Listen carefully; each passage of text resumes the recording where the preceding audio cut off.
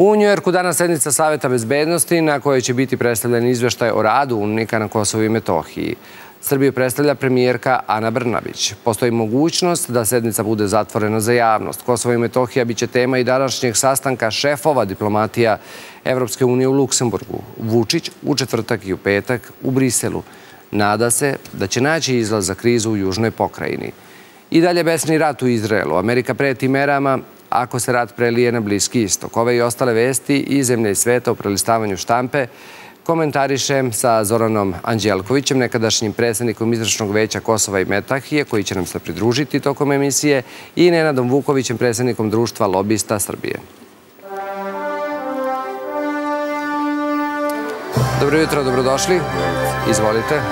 Pridružit će nam se i gospodin Anđelković. Odlično.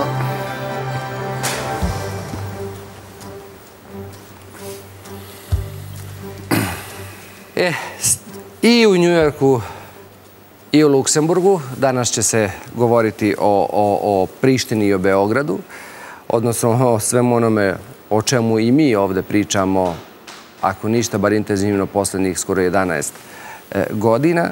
Ali ajde sad da se osvrnemo na ono što je rekla Petorka, koja je bila ovde tokom vikenda. I ono što je rečeno, ako išta novo rečeno, kako to vama izgleda? Petorka traži, znači e, neki podtekst je e, rezolucija Evropskog parlamenta, dolazak takozvane petorke e, na određeni način u tom, pre svega da kažemo, rezoluciji Evropskog parlamenta inicirano je od strane socijaldemokrata i u onome što je petorka donela neke stvari koje su tu iznete, stvari na koje se ovaj, stavlja akcenat i na kojima se insistira, teško da mogu da se nazovu povoljnim po Srbiju, naročito kada se radi o događanjima u Banjskoj 24. septembra. Sa druge strane, suština je da se nastoji da se taj dialog oživi. E, mnogo toga što... Je li ga moguće oživjeti? E, mora da se nastoji, da se oživi, kako bih rekao, ovaj, e, zamrznuti konflikt i ova situacija nije nikako dobra. Nije dobra ni za Srbiju, nije dobra ni za Srbe na Kosovu, nije dobra ni za region, u stvari nije dobra ni za koga. Ni za koga, zato vas se pitam, je li ga moguće oživeti u ovom trenutku sa ovim akterima? Prvenstveno mislim na albansku stranu. Da, ima taj narativ, možda to nije prvo što treba reći, nije prvo što mi treba da kažemo, ali je činjenica da je e, stav i ideja i petorke i svih drugih važnih aktera da zajednice srpskih opština kao preduslov za nastavak dijaloga i e, prosto i za mogućnost da se od Srbije traži da da aktivno učestvuje u dijalogu upravo e, početak rada na formiranju zajednice srpskih opština i uključivanje e, srpskih predstavnika e, u rad, da tako kažem, vlasti na severu Kosova i sve postaje jasnije da će vrlo teško to biti postignuto sa administracijom na Kosovu koje je predvodi Albin Kurti. U tom smislu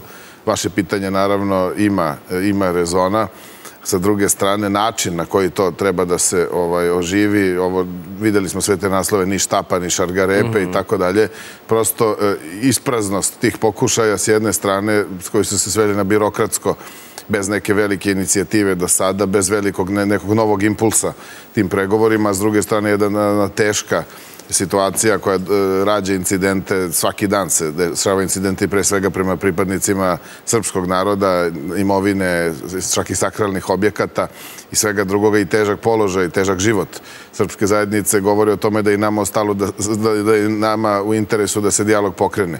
S druge strane, sa administracijom Albina Kurtija to ide veoma teško jer ja ne znam više jedino da čovek otvoreno kaže neću to da uradim sve drugo je ovaj, uradio na sve moguće konkludentne, kako mi pravilnici kažemo, znači, načine i konkludentnim radnjama je pokazao da nema nameru to da sprovede. A imamo li mi još tada uradimo? E, naravno da i imamo i da moramo da uradimo. Ono što je novo u pristupu petorke, to je očigledno taj neki rad u režimu tajnosti.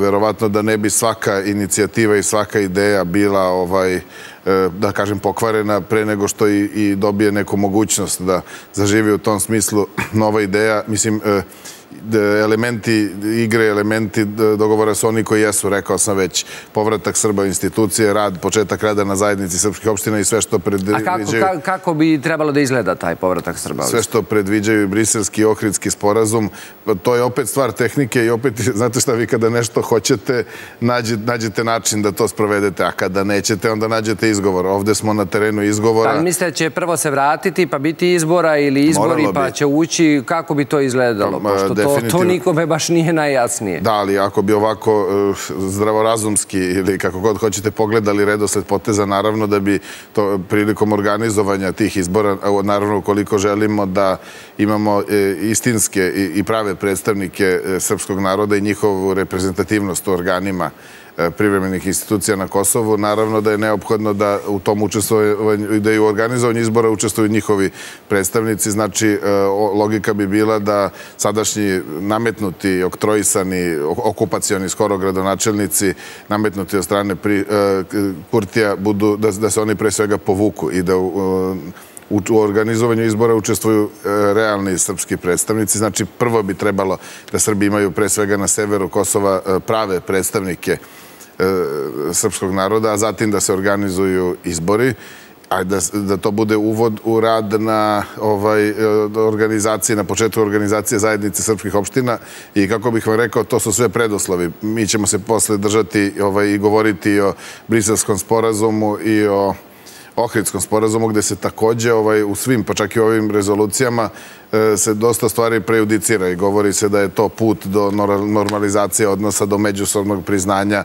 da Srbija ne ometa put Kosova ka institucijama i tako dalje. E, tu, je potreban, tu su potrebni ozbiljni pregovori i mhm. potreban je ozbiljan rad na, na postizanju nekog kompromisa, ali vi u ovom trenutku, što se tiče strane, da tako kažem, kosovskih Srba, bez njihovih predstavnika nemate sa kime da radite, imate e, da tako kažem, nametnute predstavnike kosovskih albanaca sa po 1-2% reprezentativnosti i oni su samo remetilački faktor, a ne, u to će upravo biti da povežemo teme, bit će tema suštinski i Saveta bezbednosti Ujedinih nacija, jer neće obuhvatati ovaj period kada se radi o incidentu u Banjskoj i tako dalje, već upravo probleme koje je izazvao, što je i Zapad priznavao, e, da probleme koje je izazvao dolazak i uvođenje nametnutih gradonačelnika opština na severu Kosova i otpor koje je to izazvao i nerede koji su nakon toga usledili.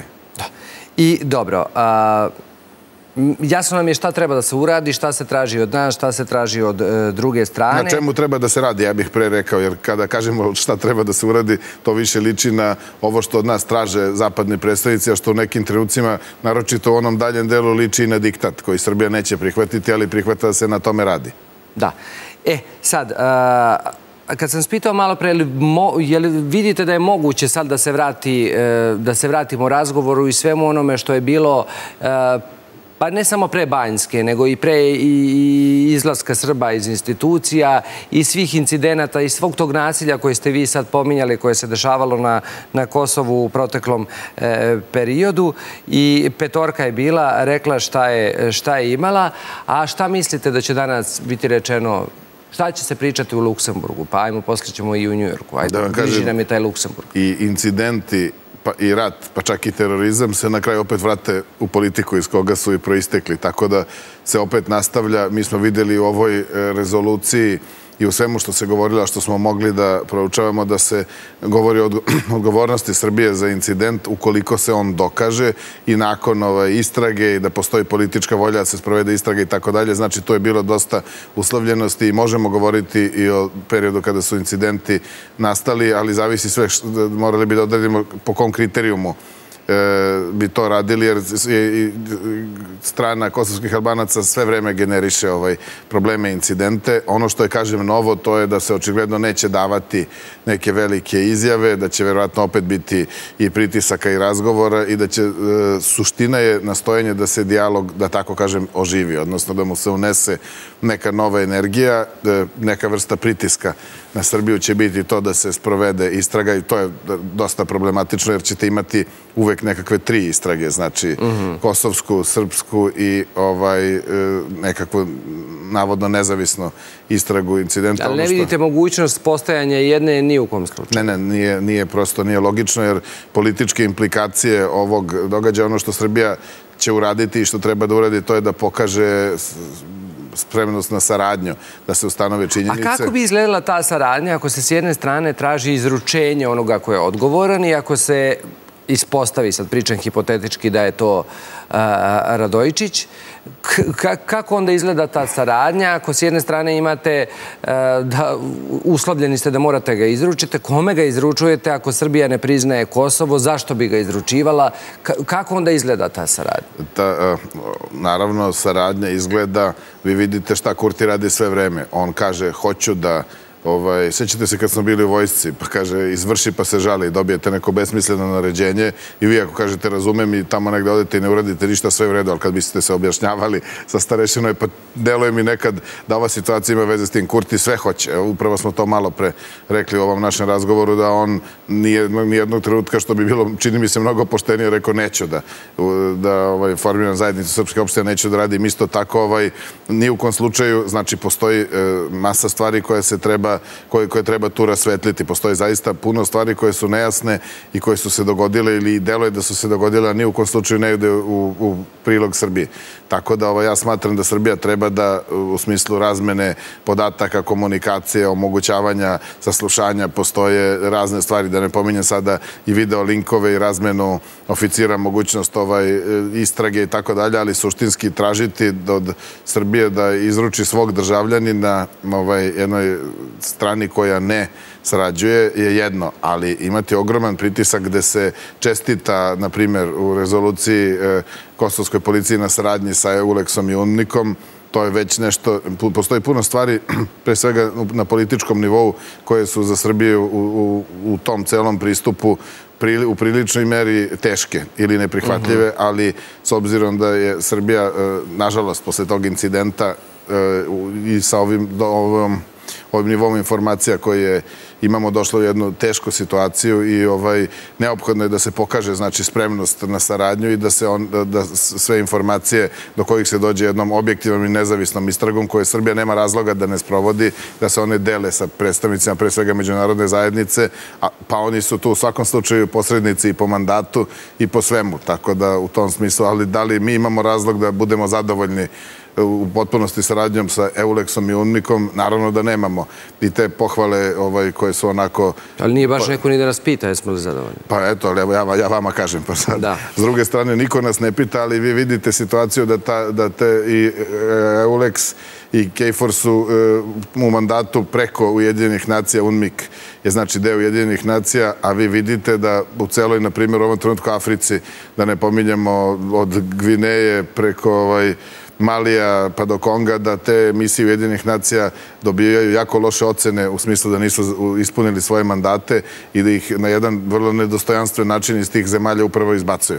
Znači, bez obzira što ja se slažem da naša, e, naše zadovoljstvo ili nezadovoljstvo radom tih institucija nije nešto što će mnogo tangirati e, međunarodnu zajednicu, pogotovo ne politički zapad, ali je i činjenica da, Pa da, oni, generalno da oni je nisu kompletan zadovoljeni. rad Ujedinjenih nacija doveden u pitanje poslednjih godina i postavlja se pitanje uopšte njihove svrhe e, u ovom trenutku i da im je potrebna i reforma i da, da to izgleda da se vrati neki oblik i, i neka suština koju, koju su imali ranije. To se videlo i na primjeru rata i, i između Ukrajine i Rusije. Evo sad nije ništa bolja situacija ni, ni kada je počelo sve ovo između Izraela ili Palestine. Ali, ali, ali je, izvinite, drago, činjenica je da oni takvi kakvi su, a nisu ni neutralni, ni objektivni i ne rade pre svega u interesu srpskog naroda, ali, su, ali je činjenica da i takvi kakvi su predstavljaju nekakvu zaštitu i podršku Srbima u odnosu na rad privremenih institucija, naročito kosovskih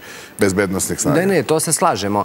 Ali a, i evo sad, e, ajde, premijerka će biti u Njujorku. Šta, šta mislite kako će to izgledati? Šta, šta, se, šta će se ako će se uopšte išta desiti, neću da kažem epohalno u Njujorku. Prošle, znači, UNMIK je držao, u stvari Ujedinjene nacije držali su četiri puta godišnje ovaj, usvajanje raspravu o Kosovo i Metohiji, čitanje izveštaja, sada se to dešava dva put godišnje. Posljednje put u aprilu bila je prilično velika svađa, da kažem, mhm. ovaj, i burna rasprava. Je li to jedan od razloga zbog koga je predloženo da bude zatvorena? Sednica će biti otvorena po svim informacijama koje smo imamo. Ali je li to bio razlog što su ranije predlagali pa da se zatvori? Tako se ovaj, smatralo, e, da, navedeno je bilo da će se možda razgovarati konstruktivnije i otvorenije ako ne bude mhm. zatvorena za javnost, što podrazumeva i odsustvo nekog većeg broja i pratećeg osoblja i medija i određenih stručnih službi, konsultanata i tako dalje. Međutim, ovaj, Srbija tu nema nešto posebno šta da krije, ali e, opet su jedine nacije takve kakve su format koji više odgovara Srbiji, jer mi smo ipak osnovni neki matični dokument je ta rezolucija 1244. Drugo, tu imate prisustvo i drugih ovaj, da tako kažem, sila ili drugih elemenata ili igrača, jer e, Srbija je u dobrim delom prepuštena ovaj e, političkom zapadu kada se mhm. radi o uređivanju i regulisanju kosovskog pitanja, a mi tu, nažalost, nemamo pravog sagovornika, nemaju dovoljno sluha u svemu ovome što se dešava i uz svu svest da mi moramo sa njima raditi i jer je u njihovim rukama trenutno i noži pogače jer smo okruženi zemljama Evropske unije i NATO-a i jer je to naš prirodni put e, zaista nedovoljno sluha za probleme koje Srbija i Kosovo imaju. I ako bi danas... Kada kažem Kosovo, mislim Kosovo kao delu Srbije. Jasno, jasno. Ako bi danas e, morali i vi i ja ovde da izmerimo, koji je od ova dva sastanka skupa važniji, šta biste rekli?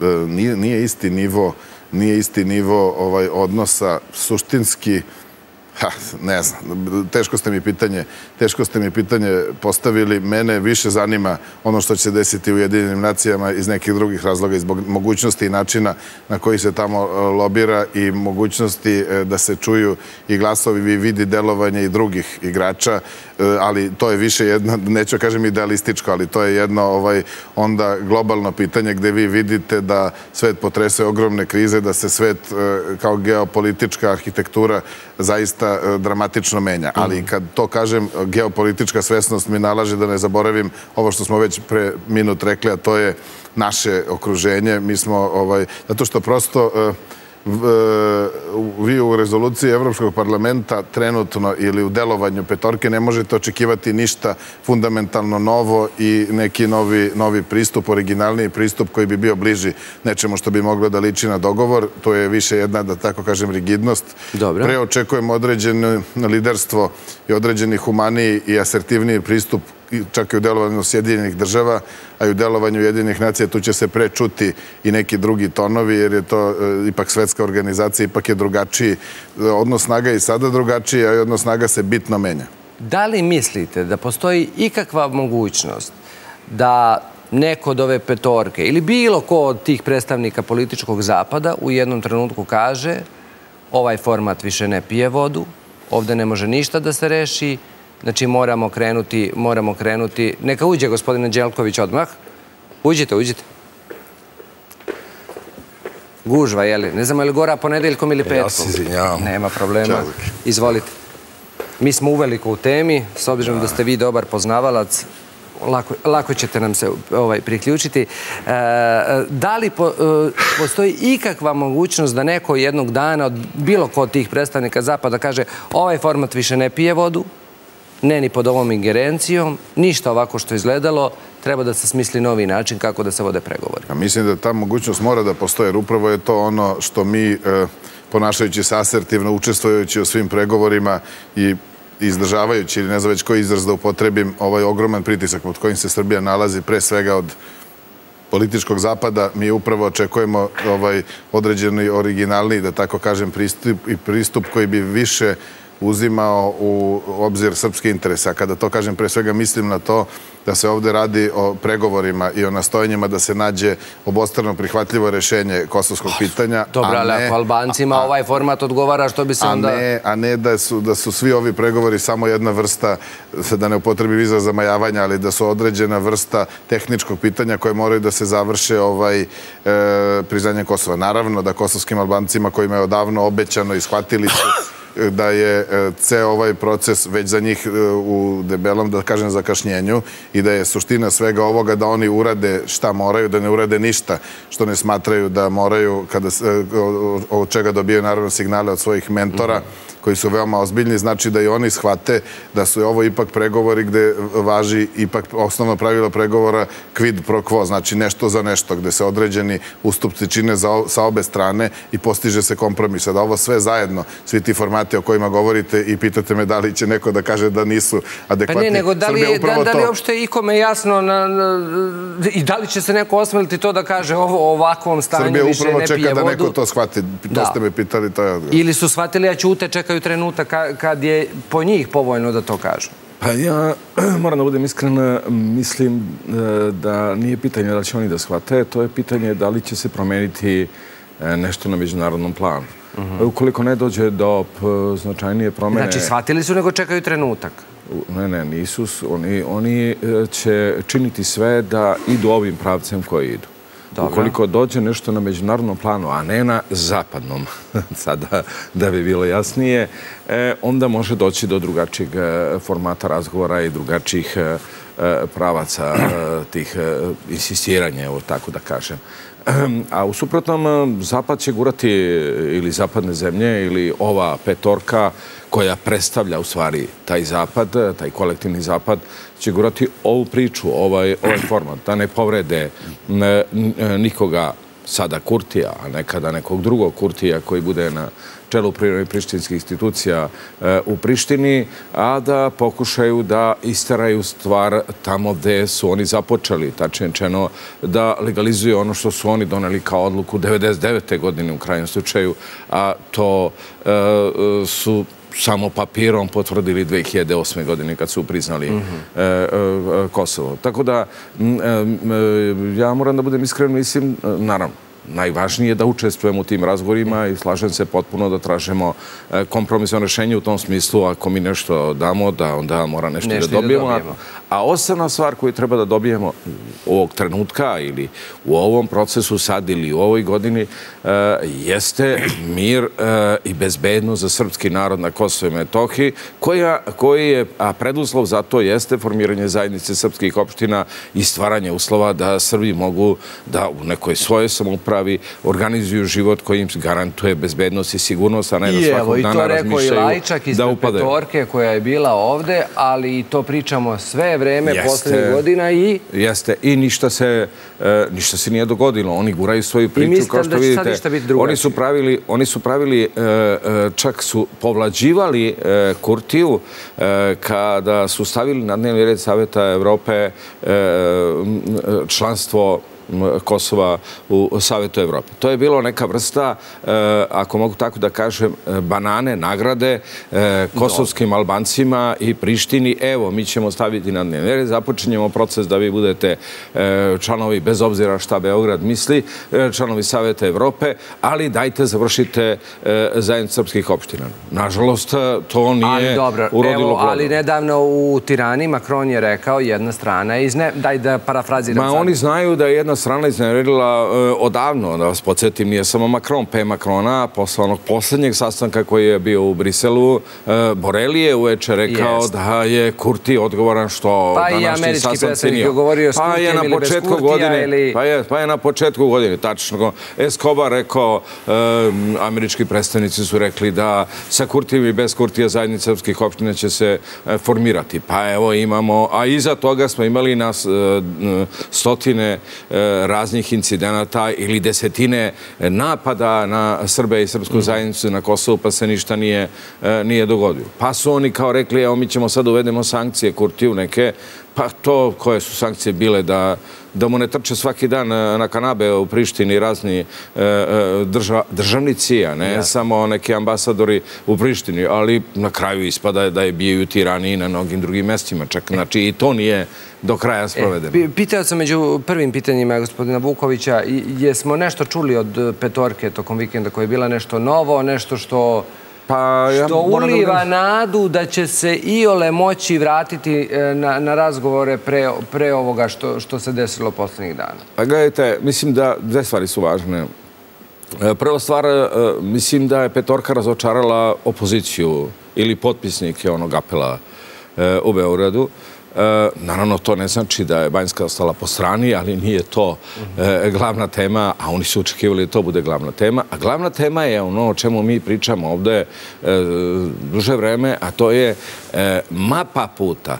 Ja volim da, ja mislim da oni koji govore o sporazumu iz Ohrida greše, nije reč o sporazumu iz Ohrida, nego reč je o dogovoru o mapi puta šta treba kad sprovesti, ko kad treba da sprovede. Ovo što Vuković kaže, Vuković kaže ja uradim to, ti uradiš to. Koje su to obaveze? Ali da bi se došlo u tu fazu, Priština je imala obavezu po toj mapi puta da sprovede pre Ohridskog sporazuma, znači obaveze koje su proistekli iz preohridskog sporazuma, a to je Briselski sporazum zajednice srpskih opština. I mi se faktički od e, februara meseca natežemo oko toga kada će se početi mapa puta iz Ohrita e, sprovoditi i zato e, ovoliko bilo od februara na ovamo pojačanih ili intenziteta koje je Priština preduzimala prema Srbima na Kosova, naročito na severu Kosova, kako bi našla formu i način načina da kaže da je zajedno srpskih opština potpuno ban optice i van razgovora. Da vas podsjetim čak šta su ova četiri gradonačnika uradili. Oni su čak doneli odluku ili ovaj Atić iz Mitrovice, ali mislim da su i neki drugi, da pristupe asocijaciji kosovskih opština, to je mhm. albanskih opština, koja je čak nevladina organizacija, nema nikakvu formu, to je, oni su sami e, formirali. Tako da, celo ova godina objektivno je protekla, da budem iskren, u našem zahtevu da se ispune briselski sporazumi i pokušaja e, e, zemalja Kvinte ili Brisela, pregovarača, da udovolje Kurtiju da ne izvrše nikakav pritisak kada on to sprovede. A ovamo su Srbi trpeli. Pitao sam i gospodina Vukovića, da ste vi Vučić, koji bi vam od ova dva danas skupa bio važniji? Ovaj u Luksemburgu ili u Njujorku?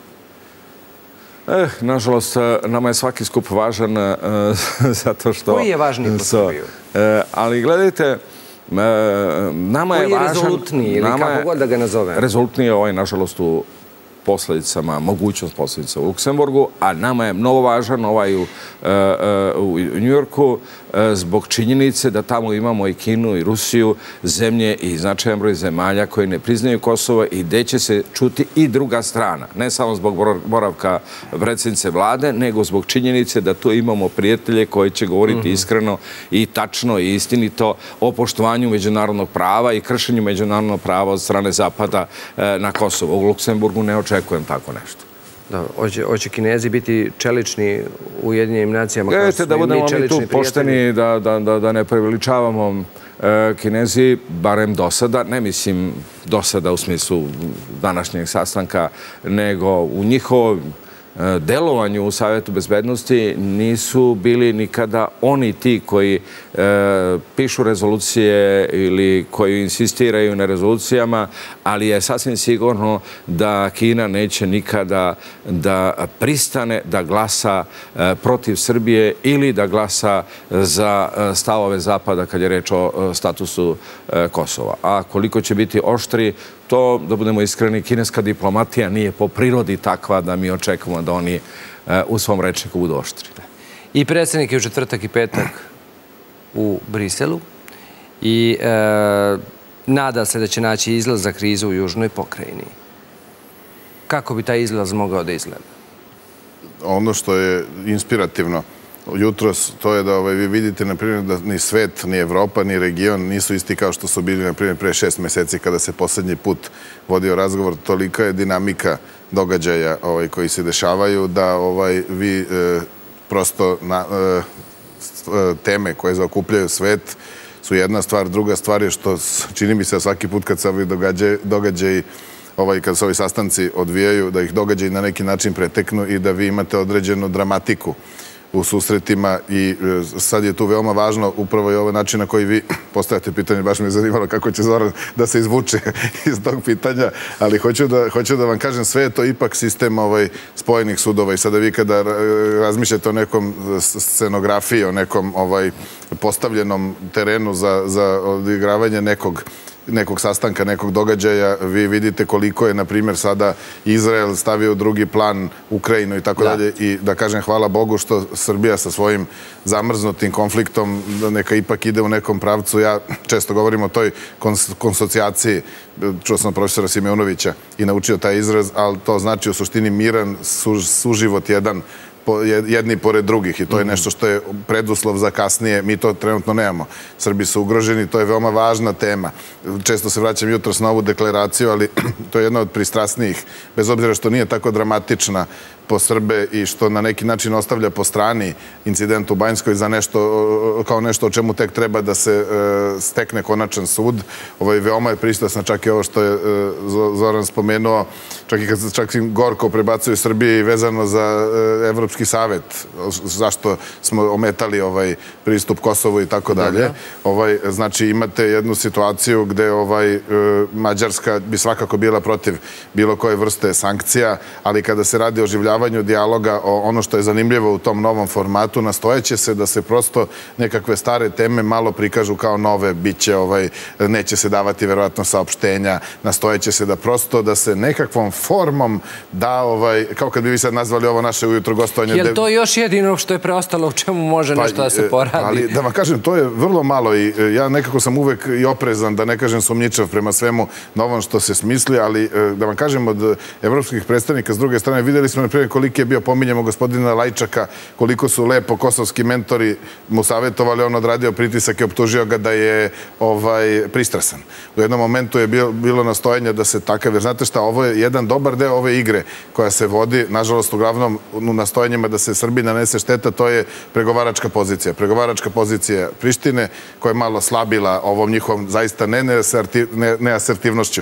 U jednom momentu se graničila sa bezobrazlukom. Rekao sam samo što nije rekao neću breda i tako tako dalje. S druge strane, Srbi 90. pa Putin, pa zločini, pa još im mhm. dobro došla Banjska. Znači, imali smo na delu i treću vrstu ovaj udara na pregovaračku, na kapacitet za e, učestvovanje u pregovorima, a to je na pregovarače. Te, to su zemlje koje nisu priznale Kosovo. Lajčak je pristrasan, samo što, čini mi se, niko nije otvoreno rekao Lajčak je korumpiran. Znači, on je ovaj bio u situaciji da se tu brani, e, ali e, mimo toga, ja znači sam stvarno više puta skoro pa vapio, ajde da vidimo nešto novo. Dolazite ovde, šetate se, njega blago grdite, nama pretite, ali se ništa ne dešava. Pa ako je to neka ideja da će e, tajnost pregovora i malo drugačiji format nešto novo da unese, ajde da vidimo i to. Kako vi taj izlaz vidite? Koji koji će učić Dobro, pregovori u principu ne treba da budu, što bi rekli, ono, uh, kako kaže naš narod, na sve četiri strane, mislim. Uh, jer tu su, u detaljima je suština, ako mogu tako da kažem. Ja da vas podsjetim, za Dayton prvi papir je došao negde u januaru, februaru, mesecu, jedna strana na kome je u stvari suština bila 49-51, a Dayton je došao e, u novembru, u novembru mesecu. Do tada je bila tajna diplomatija oko, e, što bi rekli, suštine, detalji na taj način se radi.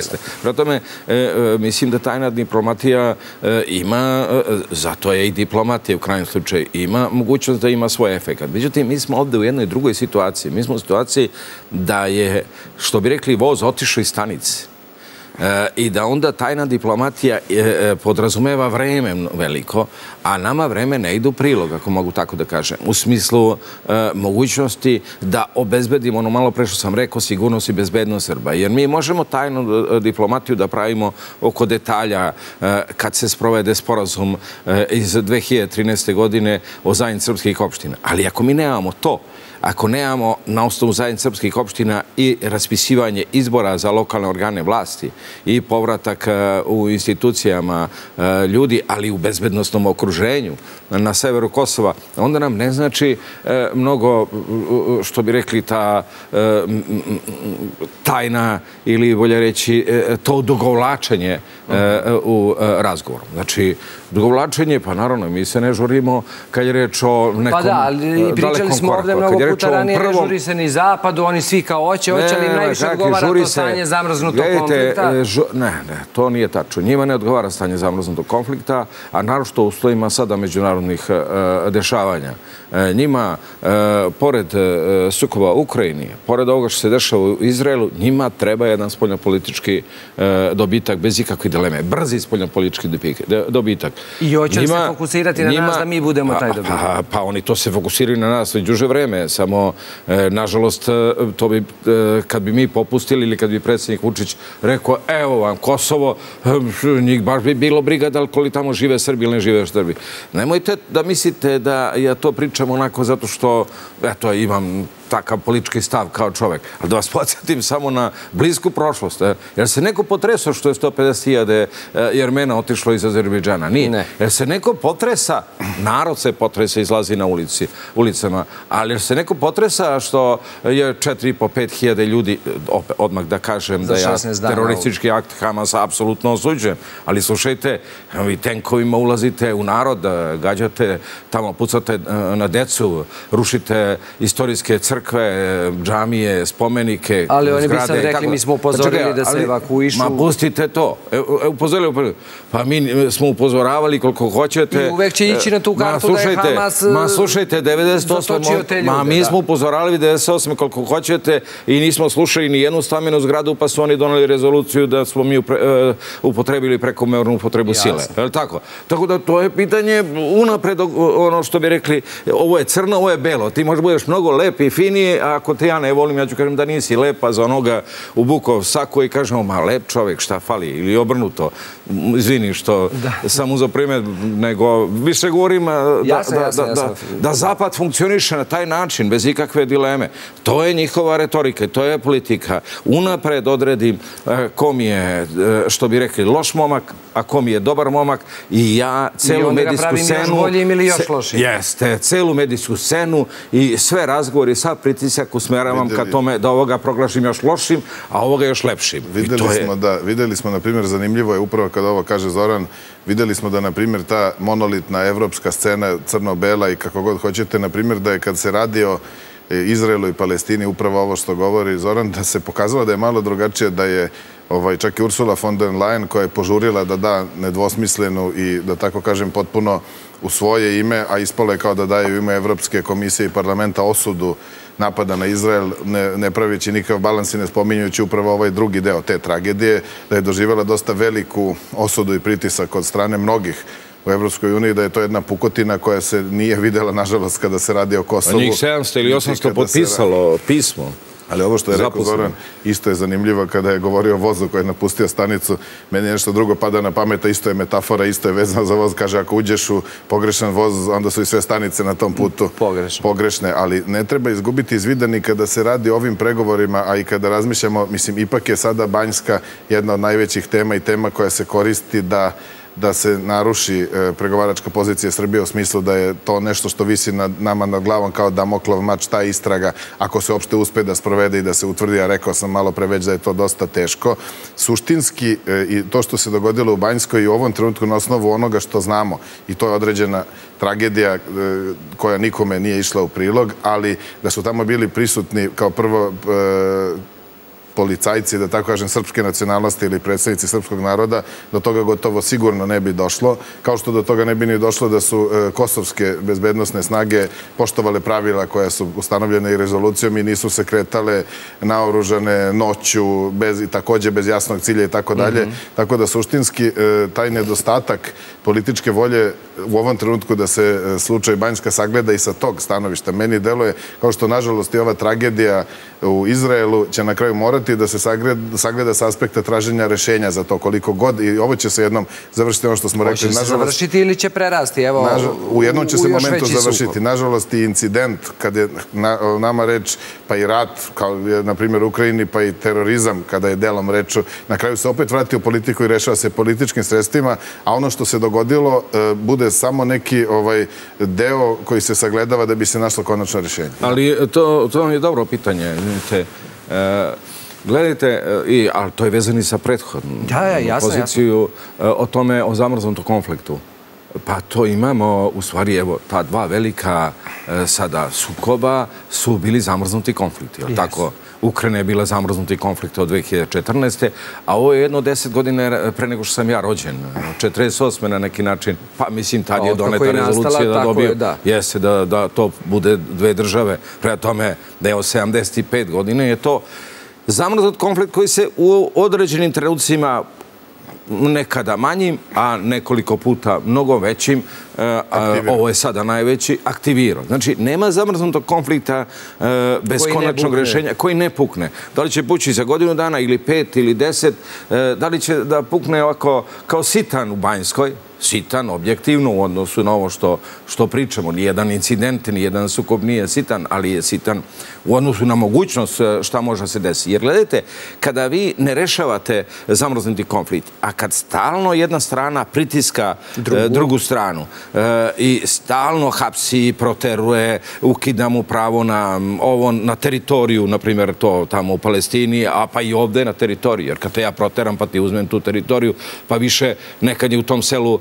E, živjelo Srba, sad ne živi Srba, ti znači e, onda ti je e, životni prostor manji, pa te, pa te onda objavim spisak da, da ću da uhapsim ovih 30 ili 40, nije bito, ti ljudi više ili čekaju da budu uhapšeni ili napuste Kosovo i Metohije, a onda iza toga i porodica, onda dolazi do mogućnosti stvaranja konflikta i da jedna grupa ljudi eskalira. To ne mora da njih proglasavaš na ovaj ili onaj način, da, to sad teroristi. Problem, izvini sad i ti, Zoran, ovaj, e, ja mislim da je uvek tu problem sudar dva maksimalna programa, znate, ako, upravo zato je to quid pro quo i kompromis, jer u Izraelu vi imate u Ukrajini da ne govorimo, povucite se svi sa teritorije Ukrajine, a ovi promenite režim. Ne znam, u Izraelu ne želi, Izrael ne može da postoji ni u kom obliku, a oni, palestinci, ne, ne mogu da imaju nikakva prava. Znači, e, na Kosovu, e, država Kosovo, priznajte i gotovo. Znači, e, uvek je sudar ta dva maksimalna programa nešto što dovodi do zamrznutog konflikta. A Zato je kompromis lek, što bi rekli bez toga nema...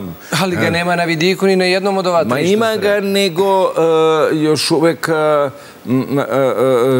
ljudi kada treba da dobije ozbiljnu terapiju u bolnici, oni često odbijaju terapiju iako znaju da to može da, što bi rekli, bude fatalno. Ali evo znači, pre... terapija je bitna, bez terapije... Pre 17 dana kad je krenulo sve ovo između Izraela i Palestine, naravno da smo odmah svi krenuli da licitiramo, kao što smo licitirali i kad je se desilo 24.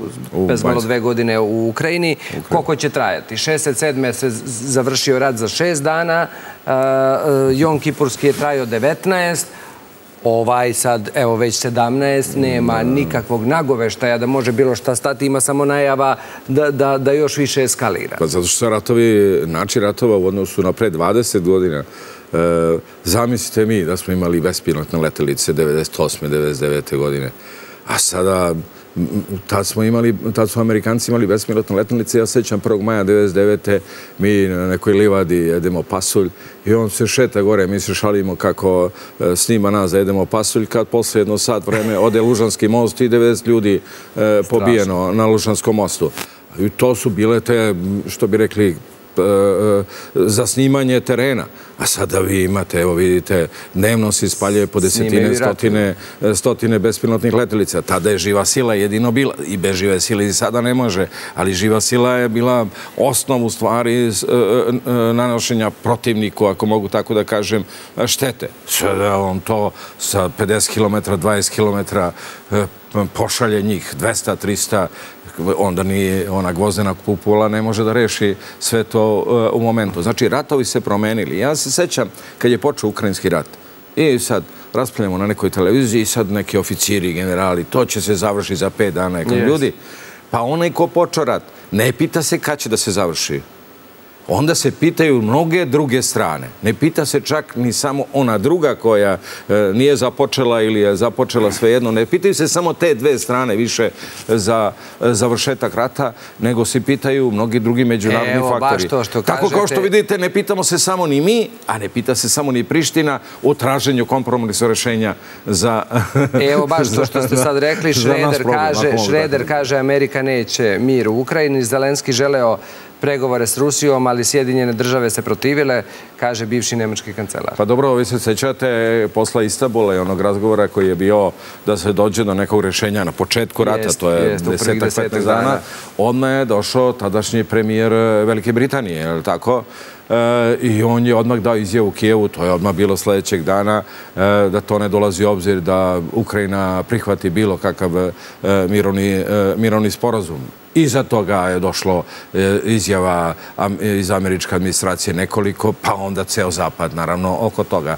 Ne mislim ja ni da je Johnson došao privatno, tačnije čeno da on odlučio dok je sedeo u Londonu da je protiv e, mira, nego da je bilo i te noći ili kad su videli mogućnost da dođu u Istanbulu do potpisivanja nekog sporazuma, bilo je telefoniranje, neki kažu crvenim telefonima, neki kažu belim, nebitno, ali to su specijalne veze koje sasvim sigurno u momentu reaguju kako da spreče da se postigne ono što oni e, ne žele. I evo vidite, što bi rekli, preko 600 dana već imamo e, taj sukob u Ukrajini. I evo, privodimo ovaj razgovor kraju, e, ostaćemo na temi Izraela i Palestine.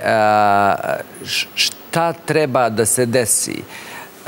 Da bi, e, kažu, mnogo je sad krvi proliveno ovde i nema šanse da se u ovom trenutku uopšte priča o bilo kakvoj vrsti pregovora. A šta Uvek ima šanse, izvini. Uvek ima šanse da se priča... Kažu da je sve taze, da nije ni prošlo vreme, da je mnogo... Pa evo, samo oko 5000 palestinaca... Ne, baš zbog toga kažem, uvek ima vreme. Različita priroda, si završio pitanje? Da, da. Različite prirode ovog sukoba, to je ovo što smo probali da napravimo komparaciju ukrajinsko-ruski rat i izraelsko-palestinski rat, različite prirode ovog sukoba i intenzitet razaranja i stradanja u ovaj, Izraelu govore da ovaj uvek može gore. Kad čovjek pomisli ovo je stvarno katastrofa, ispada da je ovo još gore i veoma je važno, malo pre si mi postoje to pitanje, ali smo preko njega prešli, sa kim ćemo mi u stvari u budućnosti pregovarati kada se radi o Kosovu. Da li će to biti Albin Kurti ili neko ipak asertivniji, čak i sa aspekta njegovih mentora. To je, na primjer, vrlo zanimljiva tema. Izrael, znači, to je moglo, nažalost, e, znači da ne govorimo o tome što je Zoran u jednom momentu pokušao da kaže, naravno da osuđujemo onaj grozni teroristički napad, ono je bestijalno bilo, naravno da je užasno i ovo što se sada dešava palestincima, što je nažalost mogla da se donekle i predvidi. E kako je to mogla da se predvidi, tako neki redosled poteza Izraela, prvo ta brutalna odmazda dehumanizovana potpuno, onda malo selektivnije što već kreće e, odmazda nad personalno odgovornim i tako dalje i tako dalje. A sljedeća faza je potpuno slabljenje i verovatno oni što ponavljaju neće biti Hamasa kao što je bio i tako dalje. Da li nekakva nova e, vlast, da li je to uopšte moguće, jer govorimo o jednom radikalizovanom ekstremnom ekstremnom području i mogućnosti da bukne... Ali nisam razumeo, rekli ste slabljenje. Slabljenje Hamasa u svakom slučaju tih tunela. Ideja Izraela je bila da oslabi Hamas. Da oslabi Hamas i pa čak i najave da ga uništi skroz. Da neće stati dok ne završi. Ali imate Iran koji poziva da ustanu širom sveta da pruže otpor. Pa imate Hezbola koji najavljuje i opet s druge strane da Izrael kaže, e, kako je rekao, razorit ćemo Liban ako se uključi Hezbola. Malo ste mi pobegli u onom delu koji sam ja hteo. Naravno da Ne, završite, nego nisam vidio kako postoji... Pretekst je tragedija. E, situacija je da se trenutno, da tako kažem, radi na terenu, a dalji kontekst je opasnost od globalnijeg sukoba. Ali suštinski je pitanje ovo sa kim Izrael i sa kim, ne samo Izrael, Egipat, kogod, indirektno Iran, Sjedinjene države, svakako nekako buduće e, kretanje ka rešavanju stanja na terenu, sa kim će to biti? Ko je predstavnik, politički predstavnik palestinaca u u Gazi. Da li to ostaje Hamas u ovom obliku sa svojim vojnim krilom koje je uradilo što je uradilo? Da li je to nekakva druga snaga koja ima mhm. bilo kakvo razumevanje za pregovore? Vidimo da Hamas pustili su ove Amerikance, uvažili su kao Katar, nešto sa, i sa Amerikom, malo ovaj drugačiji tonovi. Znači, trenutak kada tu dođe do pregovora, video sam negde neki naslov u nekom think tanku, kaže ili ovaj, e, vojna uprava ili marionetska vlada. To je znači ono što bi bilo, ali prosto... I, Na tom području ne moće moći ni jedno ni drugo. Izrael, ovo je samo kandidovano kao ideja, Izrael znači, Izrael znači će e, sada na jedan brutalan način, a kasnije će tražiti, pa skoro i vapiti za nekakvim sagovornicima u okviru palestinskog korpusa sa kojim može da se radi, ali opet i taj rad podrazumeva određene ustupke. Jer upravo sudar te dve isključivosti i ta dva maksimalna programa problema rađa stalne tinjeviće konflikte koji se ne mogu rešiti dok se ne kre... I koliko god to tragično bilo i koliko niko iz nekakvog svog terorističkog nedela može da izvuče određene političke benefite, kao što je Jom Kipurski rat pomogao da Izrael shvati bez obzira što je pobedio, da ne može živeti na taj način okružen susedima koji su isto tako ne može živeti ni sa maltene unutar svoje granica sa građanima koji su radikalizovani, koji Dobre, sad shvata da je vreme za dve države. Ja se nadam da shvata da mora da se nađe adekvatno političko rešenje koje bi bar donekle zadovoljilo i interese palestinaca. Mene plaši da to sada nije opcija, a da to je jedina opcija. U ovom trenutku nije, ali... Da, a da je to jedina opcija već 75 godina.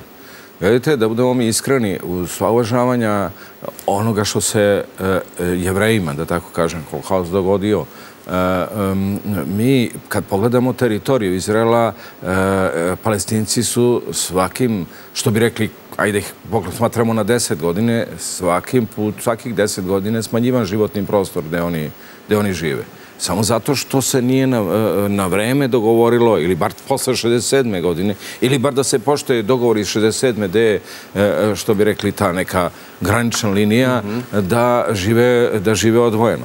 Gledajte, nema, mi nemamo nerešenu granicu ni sa Kipar, što bi rekli u smislu funkcionisanja. Gde je to granica? Da li je to istočni Kipar i ovaj deo Turski ili je to ceo Kipar? Ceo Kipar, mi priznamo ceo Kipar i međudavno zajednica priznaje ceo Kipar, ali živi drugi deo Kipara. I nema sukoba, objektivno. Znači, to je ta e, konsocijacija koliko toliko znači, da mirno žive jedni pored. Znači, na tom prostoru treba u stvari to. Ovo je administrativna linija, ovo je linija, ovo je granica. Pa sad možemo da pregovaramo o narednih 5, 10, 50 godina, da li je to baš ta granica ili neka druga, ali da stvar funkcioniše. Ta ideja da će oni naći, e, e, što bi rekli, e, umerene palestince u Gazi s kim će pregovarati, nije pojent u tome. Naći ćeš ti, samo da li oni imaju većinsku podršku kod palestinaca. I mi smo imali značajan broj Albanaca i 98. i 99. što bi rekli koji su želeli da, da rade sa nama zajedno. Ja e, sam pa izvršao većinu. Ali ako vi nemate apsolutno, ako nemate većinu građana uh, uh, uh, da oni predstavljaju... Mnogo je lakše svađati nego miriti. Ne, ne, ne, ali čekajte, kako vi tu većinu građana u Palestini merite? Ako kažemo da ih ima 2,5 miliona, 2,300. S druge strane, kažu svi, to jedno krilo vojno radikalno Hamasa drži, drži celu Palestinu kao taoce. Radikalno krilo Hamasa, ali Hamas je i politička organizacija i vojno krilo. Gledajte, ja bih volio da u Fatah vlada gazom, ali, nažalost, Fatah je tamo u manjini kad kažem voleo bi, pa nosio sam onu maramu njihovu, e, navio za Jaser Arefata kao mladinac, podržavali smo, mi, vi ste mlađi, ali... Jeste kad ih je Tito, pa znam, čito kad ih je Tito... Ali mi smo stajali iza Fataha i PLO e, da dobiju svoju državu u krajnjem slučaju, ono što je svoje jedine nacije donelo odluku. Ali je Hamas pobedio Fatah... Mogli da se izjasne? Mogu li palestinci danas da se izjasne za koga Danas ne mogu, ali da vam kažem već 16 godina kako ovaj režim ne mogu. E, ne, oni su ovih 16 godine tamo, ovaj, e, Hamas, politički deo Hamasa, ima apsolutnu podršku. Oni vladaju apsolutno, bez ikakve dileme. Nisu oni to nikad zorane pošteno proverili. To je jedna... Pa, e, to sam teo da kažem. Da li bi ovim uslovima E, neka druga politička opcija pobedila u Gazi, posle svega ovoga, nažalost, ja se plašim da se onda još više palestinci radikalizuju i da sam možda dođe neki, nažalost, Hezbollah, a ne e, neki Fatah, mhm. ako mogu tako da, da kažem u ovom trenutku. Ova nesreća koja se desila Izraelu, jednim delom su požurili ljudi da pripišu kao i nesretnim jermenima, Ispalo je, prvo su se govorilo, pa Amerika više ne može zaštiti svoje saveznike. Ali drugo što se reklo, što je također opasna teza, to je da je Izrael, da je liberalizam omekšao, ne znam, jer mene ili omekšao Izrael, vi imate Izrael kao jedno demokratsko društvo. Ne samo demokratsko, nego društvo koje imalo velike političke pa i građanske sukobe neposredno pre ove tragedije u odnosu na određene poteze Netanjahova, gde mu se upravo suprostavljala i obaveštajna zajednica i vojska koja je trebala da bude budna i da se uradi. To se smatra jednim od uzroka što se desilo ovo, što se desilo Izraelu, a nije smelo da mu se desi. Znači, u tom smislu ispada da su društva koje su više liberalna i više demokratska na određeni način mekša, dok ovo, mislim, bez želje da polemišem sa Zorom, i on je to dosta jasno rekao, ali, znači, vi nemate apsolutno mogućnosti ni načina da proverite političku volju naroda u Palestini koja sigurno želi. Čak imate jednu stvar koja je možda i licemerna, kad ne bi bila tragična, gde oni kažu, mi smo obmanuli Izrael, uzeli smo najveći, a to su se žalili i Benet je o tome govori, ne znam, kaže, mi smo uzeli najveći broj radnih dozvola, danas smo išli u Izrael da radimo, sutra smo ih napali. Znači, to su sve, to je skoro pa ratna perfidija. Znači, tamo je pogotovo, i sad ima, postoje ljudi koji govore u odnosu na ovo rat u Ukrajini, koji je također težak, tragičan, zovu ga levenje mesa, je Disneyland u odnosu na, na ovo zgusnuto stradanje potpuno dehumanizovano. Samo da molimo Boga da Iran ne uđe u sukob, jer ja bih rekao, meni se čini od početka i slušajući neke političke analitičare ovde prvih dana odmah, koji su odmah optužili Iran da stoji iza, iza ovoga, da mm, e, Amerika uslovima... A koga ste vi vidjeli kao krivca? Ko sto, Hamas je to učinio. Dobro, ali ko je stojao iza Hamasa? Nije to Hamas mogo sam. Slušajte, e, mnogo ima grupacija i protivnika onoga što se dešava na tom prostoru posle 75 godine. I ne treba mnogo e, da e, bude nekih velikih koji će stajati za toga. Mi znamo ko finansira Hamas u krajnjem slučaju, pa zato su oni i vratili ove Amerikance na osnovu zahteva Katara. Nije to sporno. Znamo i da je Hezbollah blizak vojno krilo krilo, e, vojnom krilu Hamasa, to nije, to nije sve sporno. Ali sam potpuno siguran da Iranu ne odgovara ovaj sukop zato što ne može da, što bi rekli, stoji po strani do kraja, ako ovo još više eskalira, a e, Amerika jedva čeka da Iran uđe da bi e, se obračunali sa Iranom, a to je sad već šira priča o kojoj možemo da pričamo, zbog e, odnosa Irana i Rusije. I tu se negde povezuju Izrael i Azerbejdžan, odnosno Nagorno Karabah. Jeste. Mnogo veza, mnogo opcija. Sve je povezano. I za rešiti mnogo opcija. Nema velike reke bez mnogo pritoka. Jasno, baš tako. Hvala vam.